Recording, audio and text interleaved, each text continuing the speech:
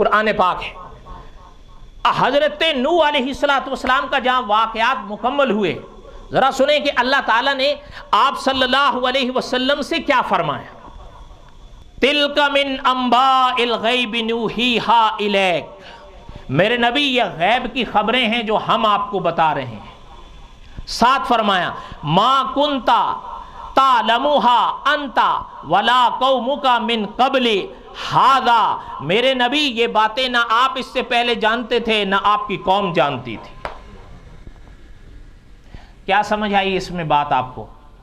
पता चलता है कि इल्म गैब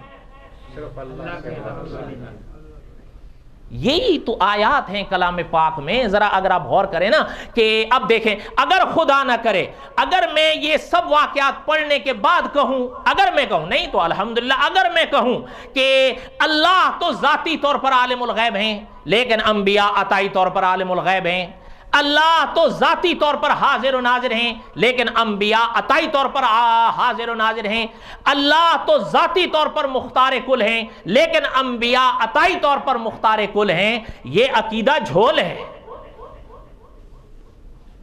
किसी को सही लगे, गलत नहीं, झोल है। और यही तो वजह है कि इस तरह की जब आयात पढ़ते हैं तो फिर मैं तंग आकर यही कहता हूँ कि हुजूर रोज़े में जाने के बाद ये सब हुए हैं। आलिमुल गैब भी, हाजिर नाजिर भी और मुख्तार कुल भी। उससे पहले नहीं हुए। क्यों? ये आयात जो मौजूद है। वो तो होते हैं जो शीले जो कह देते हैं, जैसे कि एक ने लिखा है कि हुजूर इस्लाम पैदाइश से भी पहले आलिमुल गैब थे। वो तो होते हैं तकारीर वाले मेरी तरह, जाहिल। लेकिन जो होते हैं ना, ज़रा तेज़ तरार, जिनके सामने ये सब कुछ होता है, उन्होंने लिखा है कि नहीं, जब हुजूर इस्लाम रोज़े में गए हैं ना उसके बाद हुए हैं आलिम गैब भी हाजिर नाजिर भी और मुख्तार कुल। समझ आई? हाँ ये अगली बात है कि उस्ताजुलमा अल्लामा खालिद महमूद साहब ने मुताल बरेलवियत में लिखा है कि फिर ये सवाल ज़रूर पैदा होता है, खुदा ना करे।